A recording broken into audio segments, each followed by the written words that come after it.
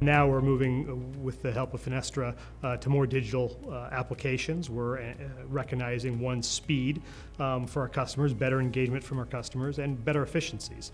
And so it's allowed us to grow a, uh, a better platform across the board.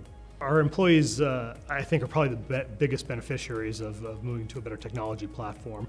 They're able to make the customer happy, and whenever you make the customer happy, it's almost a self-fulfilling prophecy and a, a positive reinforcing uh, move in that um, they want to use the technology more and more. So those those employees have gotten on that put it in front of their customers have seen better results for it, and so now we have more employees wanting to leverage technology.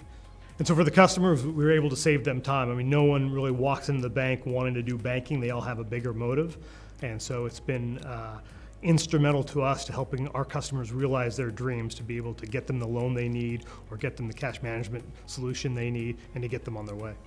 The technology has allowed CenterState Bank and, and our relationship managers to get out in the field more, um, which is important. So as we say, it went from 10 hours of time one hour to one hour of time. That extra nine hours is used at pro- for prospecting clients, for solving customer problems faster, um, for researching how to better serve the customer, a number of ways. And so we've, uh, I think, leveraged that time to get them out there to generate new business, which is why we've had double-digit growth uh, organically.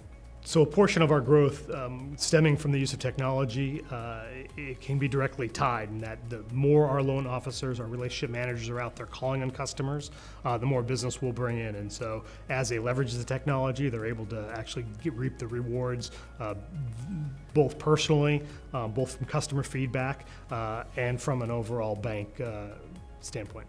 Leveraging the technology has helped, um, as I said, the RMs go back and spend more time with the customers. We recognize a couple um, key questions that we need to ask our customers, and if not ask, try to research and, and figure that out. Um, what are their pain points? What are their industry views?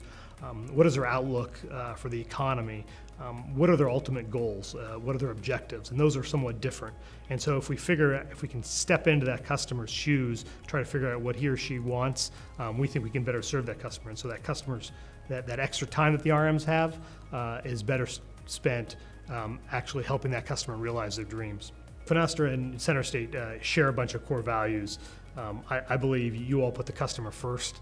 Um, you guys have bent over backwards servicing uh, our, our account and making sure that we're leveraging the solutions as best we can.